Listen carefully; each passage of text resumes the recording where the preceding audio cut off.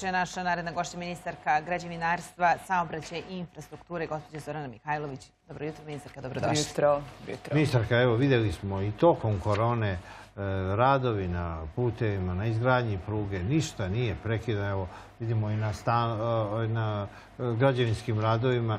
Vi ste uspjeli nekako da zadržite taj nivo rada koji je bio i pre korone. Zamolili smo građevinare. Zaista smo ih zamolili da rade i stvarno sam ponosna na njih. Na kraju krajeva kad pogledate sada prvi kvartal... Nije trebao ni da ih terate. Pa nije, oni hoće ljudi da rade, ali nekako je država ipak morala da da i podršku i da im se obrati i da kaže mi smo tu i bit ćemo sve vreme uz vas i tako dalje. Nećemo nikako nijednog trenutka Ne, prvo da dozvoliti je vi- dozvoljeno. Prvo da je dozvoljeno. Mi smo učinili sve da im zaista bude dozvoljeno, da budu bezbedni. Mislim, prva stvar je naravno bila bezbednost, ali pored toga da im obezbedimo da mogu da rade u dve, tri smene. Recimo, gradilište brze pruge je radilo u tri smene. E, upravo sutra, dakle, kad probijamo i taj tunel na delu, dakle, na deonici između e, Stare Pazove i Novog Sada, to gradilište je radilo u tri smene. Prema tome, radilo se svuda i sad kad pogledate naše rezultate prvog kvartala pa i delom dru- drugog kvartala, vezano za bruto društveni proizvod, najveći rast je upravo bezbedilo građevinarstvo. Tako da, ovaj, drago mi zbog toga i Nismo verujem da imali ćemo... pad zahvaljujući građevinarstvu. Tako je. Su Tako, svi najviše građevinski građe- radovi Najviše građevina. Naravno, bilo je drugih koji su radili, ali građevinarstvo je nekako pomoglo i povuklo da ne osetimo tako krizu kako na kraju krajeva ceo svet je. Pa evo, već- trenutno se gradi 230 km novih autoputeva. To su sve, dakle, sve što je planirano zapravo je stiglo Uslovno rečeno je čak e, i dobrodošlo, nije bilo gužve, nije bilo saobraćaja, nije mogli bilo ste da ljudi, moglo je da popravljate se te radi puteve možda koje i više. dugo niste- Jeste, popravili smo konačno autoput. Znate da uvek održavamo leti autoput, da se Jer je svi gužva, ljute ne? leti. Potpuni haos. Ljudi se ljute jer je zastoj. Sad kad je bio obustavljen saobraćaj, mogli ste da sve A popraviti. neverovatno je bilo da je bilo jako lepo vreme. Evo, a, da za vreme Za zaista tog vanrednog stanja Ja ne je znam, bilo sunčano. uh, Zamenio je. kad je završena korona, počela je kiša. Dok je korona, ona nas je mamila da izađemo. da izađemo napolje i tako dalje. Ali bar moglo se bila radi. korona, radilo se lepo Tako što je. se tiče građevinarstva. Nadam se da će da se stabilizuje stvarno vremenska prognoza. Nama je mnogo važno ovaj juni, juli, avgust, to su za nas udarni meseci. E, Autoput će biti potpuno završen sa održavanjem ceo autoput i Miloš Veliki, dakle i koridor 10, istočni i južni krak do 1. avgusta.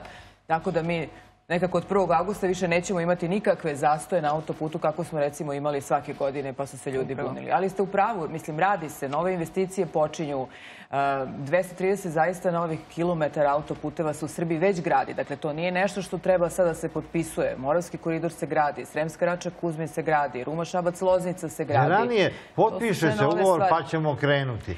Pa jeste, ranije je bilo tako, ali ja se nadam da to više nikad neće e, zaista biti tako i da ćemo mi kako potpisujemo ugovore, kako na kraju krajeva i radimo, započinjati radove. Imate novu deonicu, dakle, za koju verujem da ćemo danas na sednici vlade usvojiti komercijalni ugovor. To je deonica koja Valjevo vezuje za autoput Miloš Veliki. Dakle, To je Valjevo od Valjeva do autoputa. E, i čestitam. Jeste, ja se nadam danas na sednici vlade da će ministri to prihvatiti i usvojiti i onda očekujem negde krajem sledeće nedelje i u narednih desetak dana da započnemo radove. Dakle, ne pričamo sad Vrlo više brzo. o tome da ćemo čekati par meseci, nego ćemo započeti radove na deonici Valjevo i Verak. Mislim da je to za građane Valjeva i za ceo taj Svako, krug. svako vuče na svoju Jeste, stranu. Evo, Katarina Ja je Valjevka. Valjevo, hvala, ministarka. Ona je najlepše. godinu dana za Valjevo, ja za Gornji. Milanovac. To odvajanje od takova. Gornji Pa ne može, ja idem auto, idem e, Ibarskom magistralom starom, jer mi ništa Ali ne znam. jeste primetili da je sad u stvari glavna tema više nije tema da li ćemo imati koridor, nego svako danas izlazni put. razmišlja imamo li mi neki put da dođemo do Jeste. tih koridora u Srbiji. To jeste tema, to, više, to nije bilo tako pred 4-5 godina. Pred 4-5 godina ljudi su gledali hoće li se više završiti koridor 10, ne razmišljajući šta je oko njih, dakle u tim delovima Srbije. Nisu duge to relacije, desetak kilometara, recimo Gornji Milanovac, tako, to desetak kilometara autoput. Ali je Evo, važno. i vi imate 17 kilometara. Odlično. Sad će moći se stiže, sad može u ovom trenutku, dakle bez tog dela za sat i 10 minuta se stiže Beograd Valjevo. Ja sam Samo se juče vraćala, dakle, od Čačka do Beograda, sat vremena, potpuno neverovatno. Zaista Začas. to nismo mogli da... Začas. Naravno mora kod Čačka da se ovaj, radi i prvo ćemo raditi taj deo kod, vi znate da smo mi počeli da radimo deonicu Preljina Požega, da radimo dva tunela, e, najduža tunela koji će biti u Srbiji, međutim budući da je Čačak zaista opterećen, oko 15.000 vozila prolazi dakle Čačkom, mi ćemo prvo raditi taj deo kod Čačka, tih prvih 15 km i u narednih godinu dana to mora biti gotovo. Šta je sa onim nadvožnjakom? uh, Kod Kraljeva. ne, to je iz- na izlasku iz Čačka, onaj nadvožnjak koji ja ne znam ko sve nije radio, i Velja, i. Mrka. Je gotovo, je, možete pređe. Sve može da se pređe. Imate i kod Kraljeva nadvožnjak na koji se čekalo tri godine i tako dalje. A sada imate kod Čačka najveću gužvu. Dođete i siđete sa Miloša Velikog i onda da biste nastavili dalje, vi kod Čačka izgubite čep, najmanje da. 20 do 30 minuta, to ljudi znaju. I ja verujem da na narednih godinu dana tih 15 km koje radimo će to u stvari rešiti, što je za Čačak stvarno jako važno. A, Beograd Budimpešta takođe važan a, evropski koridor, mi smo pominjali. Kako to funkcioniše? Dokle smo, to je Pa, isto obišao stvar kada govorite o brzini, o mogućnostima. To, je, za- to zaista izgleda sad potpuno drugačije. Mhm. Dakle, ja se dobro sećam kad smo mi počinjali pre dve i po godine, da tu ničeg nije bilo. Vi sad već imate kontaktnu mrežu koja se stavlja. Ve- Već je potpuno jasno da ćemo mi sledeće godine u septembru ići od Beograda do Novog Sada brzim vozom. Bez obzira da li vi pogledali deonicu Beograd, Stara Pazova koju rade Kinezi ili Stara Pazova, Novi Sad koji rade, Evo, koji rade sutra Rusi. se probija taj tunel i Izlazi se na onaj most. uh, Jeste, na onaj vijaduk veliki, dugački, koji je isto jako težak bio za rad. To je najteži deo deonice na celoj deonici Beograd-Budimpešta. Stara Pazova, Novi Sad, radi ruski RŽD. Sutra se, dakle, po- e, probija a, desna e, strana tunela, leva je već probijena pre par meseci. E, I oni su negde u toj svojoj dinamici. Mi verujemo da će oni do sledeće godine već do leta završiti. Onda ide taj probni rad.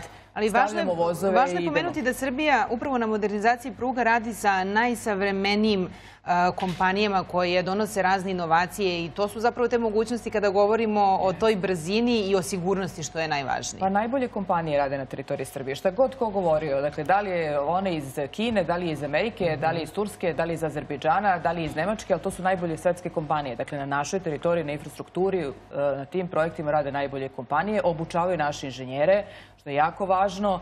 E, Mi ćemo imati centar za upravljanje kineskih naše železnica. e, firme modernizovale kroz Znate šta, ove od Mihajlo Pupina, koji je takođe tu, do nekih drugih e, kompanija, a da ne govorimo o železnici Srbije, ako pričamo o železnicama, ali da ne govorimo isto tako i o putevima Srbije i koridorima, kada smo, na primjer, projektovali brzu prugu Beograd-Budimpešta, naši inženjeri, dakle i u e, ovaj, projektantskim kućama i u samim železnicama, nisu se nikad susreli sa tako nečim. Tako da su praktično učili svo to vreme da, Evo, mi da vidimo rade ove na snimke. Da, I ovo je rada. Ovo je stvarno taj veličanstveno. vijadukt. To- Dakle, sa tog tunela koji smo rekli da probijemo, ide se na ovaj vijadukt i to stvarno izgleda. E, reci, na, na primjer, ova, de- to, to su ruske železnice.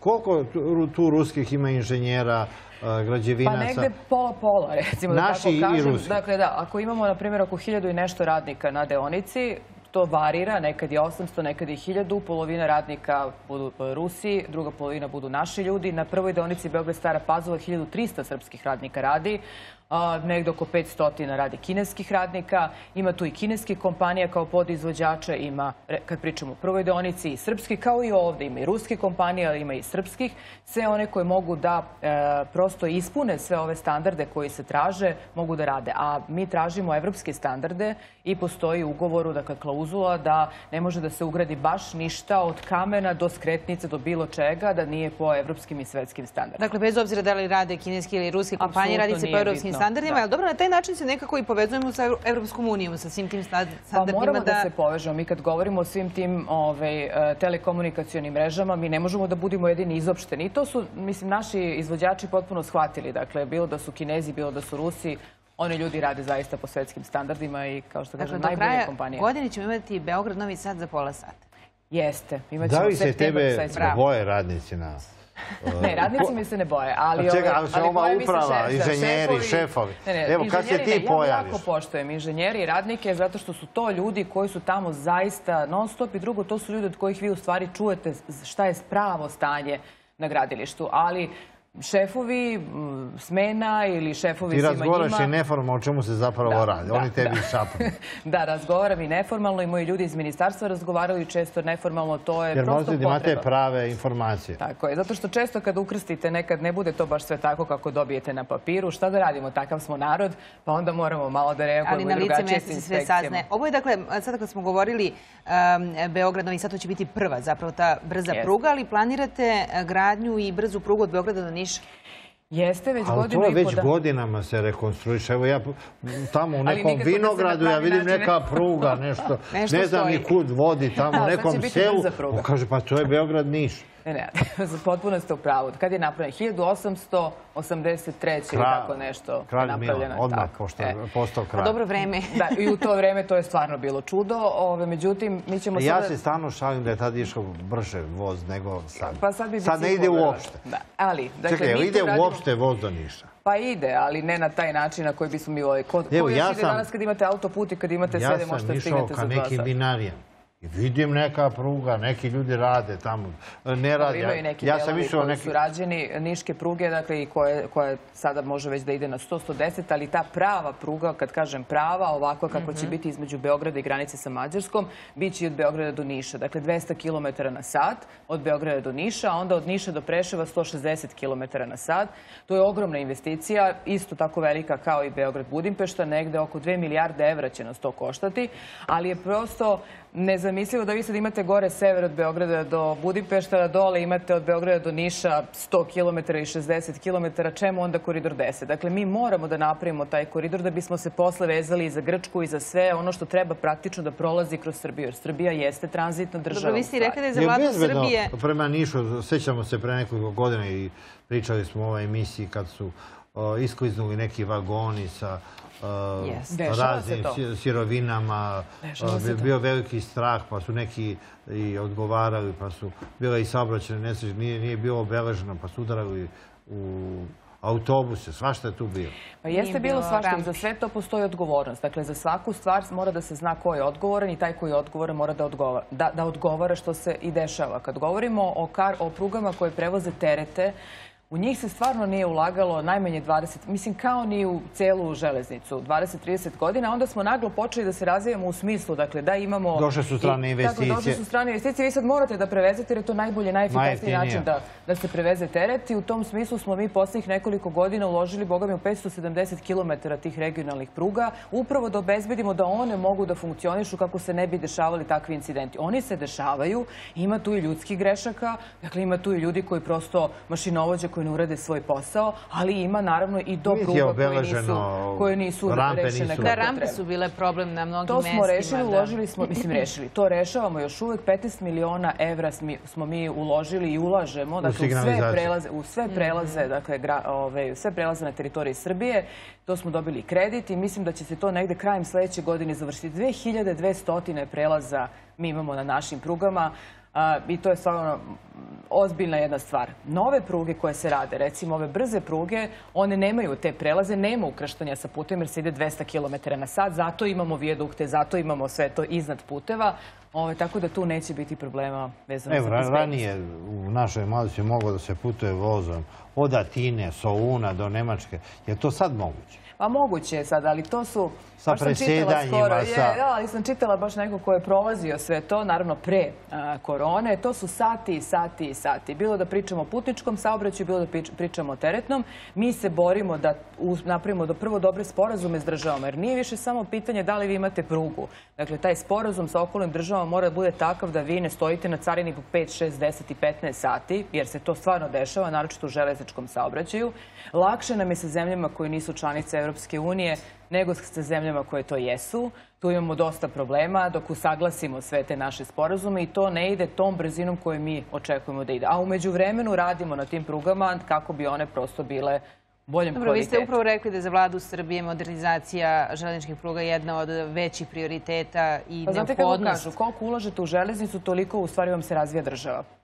Dakle, mi danas uložimo 6,5 milijardi evra u železnice Srbije. To su najveće investicije na ovim prostorima. Beograd Budimpešta je najveća investicija u jugoistočnoj Evropi kad govorimo o železničkom e, saobraćaju. E sada, Šteta je velika što pre 20 godina to nismo završili kao ni koridore, ali šta sad radimo, nikad nije kasno. Jesu i granice u Evropi otvorene, naošto e, zemlje Šengena. E, kamioni su prolazili sa robom i tokom Oni korona. prolaze i sada.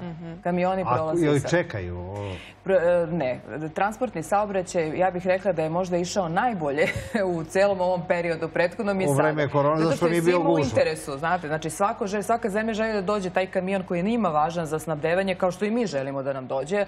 Još su bile i nestašice i po Evropi. Pa po Evropi da, u Srbiji ne. ja bih rekla da je Srbija stvarno prošla potpuno drugačije. Mi smo se trudili da sve e, imamo i da sve stigne i imali smo tu dobru saradnju u samom regionu. Što se tiče putničkog saobraćaja, on je trpeo mnogo, on trpi i sada. Na kraju krajeva trpi i sa zemljama e, koje su oko nas. Ali ja mislim da tu prosto treba biti mudar. Dakle, recimo kad govorimo i o Crnoj Gori, mi sad često slušamo, znači, dakle, Srbija nije ispunila neke uslove da bi građani Srbije ušli u Crnu Goru. Ja bih E, postavila kontra pitanje. Znači, ja stvarno to? mislim da mi treba pustimo, dakle, Crna Gora je nezavisna država, ima svoje kriterijume, kakve god oni bili, ali hajde mi svi da se upitamo da li je bezbedno za nas. Dakle, oni ljudi su e, testirali 10.000 ljudi, mi to testiramo za dva dana. Dakle, normalno da kod njih nema korone za 10.000 ljudi za dva meseca. Normalno je da će kod nas da bude koji testiramo su 4, pro- 5, 6 hiljada dnevno. Oni su proglasili e, korona kraj free državu, ali imamo situaciju da su oni odmah otvorili e, Crnu. Goru prema Nemcima, Angela Merkel je rekla da je zabranjeno ići u Crnu Goru jer nije bezbedno pošto nije bilo testiranja. su to I kaže, znači svaki turista Nemački kad se vrati iz Crne Gore mora 15 dana u karantin. Upravo to sam vam rekla ja. Dakle, ajde mi sami koji želimo da idemo u Crnu Goru da razmislimo da li je za nas bezbedno, da li je za nas Crna Gora bezbedna. Nisam sigurna da zemlja koja testira, koja je uspela da sa s dva, tri meseca koliko istestira 10.000 ljudi samo, I to dakle, sa može onim biti brzim, bezbedna i za to nas. sa onim brzim testovima od Tako 1000 da, dinara, ovaj- a ne ovi koje za nas traže od, od 200 evra. Tako da, ovaj, verujem da će to ipak negdje da se reši, ali mislim da sami moramo biti odgovorni prema nama. A oni imaju svoje kriterijume kakve imaju. Možemo o tome da pričamo do sutra, pošto oni zaista nisu ovaj, nikako rele- relevantni. Evo, kakvi kakav je režim da, recimo, čovjek sedne u kola i ide kolima za Beč, za Švajcarsku, za Pa Nemačku? zavisi ko je još otvorio. Recimo, Beč još uvek to u tom smislu nije otvorio. Dakle, neke zemlje Gde jesu otvorile možemo- granice. gde mi možemo da idemo u Srbiju najbolje. kolima? Pa možemo sa kolima, možemo, možemo u Mađarsku od 1. juna. To je zemlja koja je recimo otvorila Srbiji Prva. prva zemlji koja nije članica Evropske unije otvorile potpuno granice. Evo Bugarska također od 1. juna. U Grčkoj možete od 15. juna, koliko znam, svi mogu da ulaze. Od 1. juna mogu recimo samo biznismeni ali. Severna Makedonija je zatvorena. Pa kako, da, kako ćemo stignemo do Grčke? E pa dobro, ja kažem šta, Kažu avionom. Bosna i Hercegovina. Može avionom i može preko Bugarske. Preko Bugarske. Tako, Pa i Rumunija može. isto otvara. Doduše Rumuniju čekamo, još uvek kod njih se dosta toga dešava i onako Ali menja se iz dana u dan, uh, I to je još jedna druga stvar što se stvarno menja iz dana u dan. Mene su neki ljudi pitali 15. juna imaju kartu za ne znam gde. Ja sam rekla, a, da sačekamo zato što svake nedelje se sve stvari Ne, menjaju, tako tako, da prosto ne možemo znati ovaj, Ministarka. Ali a- mi smo otvoreni, ono što je važno. pa- Srbija je potpuno otvorila A ko svoje može da granice. uđe u Srbiju? Odakle? A, pa svi mogu da uđu u. Srbiju. dakle, kogod može sa ti, znači iz Mađarske, iz bilo kojih delova, Iz može bez ikakvih I Crne Gore mogu bez ikakvih... Naravno, mi smo Crnogorce pozvali, izvolite, dođite. Jednosmerno. Bez ikakvih, da, bez ikakvih testova, bez ikakvih A karantina. koliko nisu na onoj kriminalnoj listi? E, Pa to je sad drugi, to, o tome vodi računa policija. Ja ovako A samo dobro, onaj transportni e, deo. to je reciprocitet. Ja sam čuo da e, za deset kriminalaca koji se zaustave na srpskoj granici, zaustavlja jednog intelektualca na crnogorskoj Jednog granici. intelektualca. Jednog intelektualaca. A ne, dobro je, dobro je, on na ne. scene, jedan za deset. To, se, to je zapravo reciprocitet. A to je Da, da, reciprocitet. sam vas pošla pitam, a šta je to reciprocitet? To je reciprocitet. Evo, to je Marić Jedan objasnio. intelektualac za deset kriminalaca. Ministarka, šalu na stranu, e, investicioni plan Srbija 2020-2025 e, mnogo se e, odvojilo upravo u tom projektu za infrastrukturu. Jeste, odvojilo se mnogo, 9 milijardi smo mi najavili. E, ove godine ćemo završavati... Odakle, evo, ja čitam hrvatsku štampu, uh, rekao sam i presjeku, pre dva, tri dana sam čitao naslovne strane svih hrvatskih medija, odakle je Srbiji 19 milijardi evra. Uh, oni su proračunali da je to neki investicioni plan i za puteve i za... Pa ja mislim da svako prvo treba se bavi svojom državom. Dakle, mi smo mnogo radili prethodnih godina. I sve ovo što smo sada pomenuli, brzu prugu i 200 km koji se sad rade i još 300 km puteva koji će se raditi, 500 km brzih saobraćajnica, nije to palo s neba i nije to moglo da se uradi tek tako što je nekom došlo da se to radi, nego smo mi na budžetu našem i na stabilnosti budžeta radili od 2012. godine. Kad smo prošli u veliku krizu 2012. godine, mi smo se pozabavili time da naš budžet bude stabilan za narednih 10-15 godina, zato što ovakve investicije vi ne možete da garantujete ukoliko nemate stabilnost budžeta dugogodišnju. I mi smo puno radili na tome i zato mi možemo, zato smo mi mogli prošle godine da stanemo i ustanemo i kažemo mi ćemo uložiti 16 milijardi evra samo u investiciju to u, infra, naučno fantastično, ali je to realno. Apsolutno je realno, zato što mi nismo rekli ni jedan, ni jedan dakle, projekat nismo najavili, a da nismo znali kako ćemo ga finansirati. Jedan deo projekata se finansira iz budžeta. Dakle, to je nekih 15-20 procenata svakog velikog projekta ide iz budžeta. Valjevo i Verak 15% je iz budžeta. Ostatak jesu krediti i to su krediti koji se uzimaju pod povoljnim uslovima.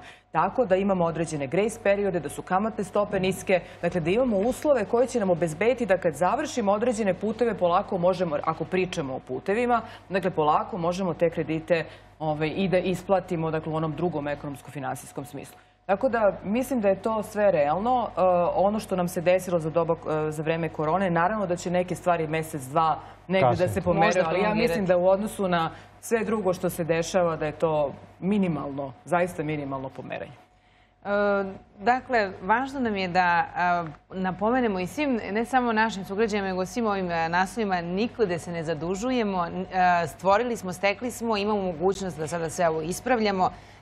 I kada se sve ovo završi što je u planu, vi verujem imate u planu i za naredne za narednu deceniju šta je sve Srbiji neophodno? Pa, ovo što ste vi pomenuli sada investicioni plan e, Srbija 2020-2025 jeste u stvari ono kako Srbija treba da izgleda u narednih 5, 7 i više godina. Ona mora da ima još autoputeva, ona mora da ima puteva koje omogućavaju da ljudi kvalitetnije žive, mora da ima dobru železnicu, ta železnica je viši kvalitet života. Dakle, to su uslovi koji su važni za ljude. Ozbiljni strani investitori, ako nema puta, gasovoda, Neće da razgovaraju. Struje po poljnim uslovima. Ja se dobro sećam 2014. godine. Veliki investitori su dolazili. Prvo pitanje njihovo jeste bilo gde je autoput, kako mogu da se priključim na autoput. Imali priključaka. Mi smo tada za neke investitore omogućavali i pravili priključke da bi oni ostali, da bi ovde zaposlili ljude. Samo da bi došli. I to je prosto, to su normalne stvari svuda u svetu, pa moraju biti i kod nas. I da samo pomenemo i pored drumskog železničkog javio koridora govorimo i o vodnom saobraćaju. 380 miliona evra je u to uloženo investicije u vodnom saobraćaju, on je uvek negde sa strane, tako, evo i sad smo ga malo nešto pomenuli, u stvari je mnogo važno. Iako je to jeftinije nego železnica. To je najjeftiniji. Dakle, najjeftiniji vid prevoza tereta jeste u stvari vodni saobraćaj. Ja sam vrlo ponosna što ćemo mi početi sada da vadimo tu nemačku flotu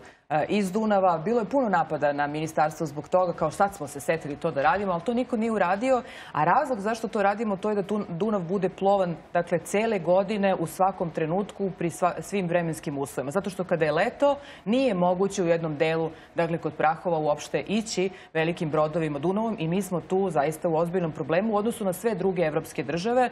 To nam naravno onemogućava da idu tereti zaista da plove Dunavom. Mi sledeće godine to počinjemo da radimo. Dakle, Šteta što to nije urađeno kad je bio nizak vodostaj, kad su svi ti kostori izašli na površinu, ali tad je bila jedinstvena prilika, ali E, niko to sledeće godine počinje u leto. E, nisu tu samo brodovi sada, tu su te neeksplodirane bombe iz 99. godine kad su nas bombardovali. Za vreme NATO bombardovali. Da, i to je u stvari najveći problem. Nisu problem više brodovi, nego su problem bombe koje moraju da se deaktiviraju, koje moraju da se potpuno uklone, pa tek onda da se krene... Pa u Dunav su upadali ti tomahavci koji su promašivali ciljeve u Srbiji. Hvala vam najlepši ministarka. Hvala svim informacijama na kratkom pregledu svega onoga što se radi i što će se tek raditi u Srbiji i hvala, hvala vama na vremenu. Hvala vam. E, nastavljamo dalje.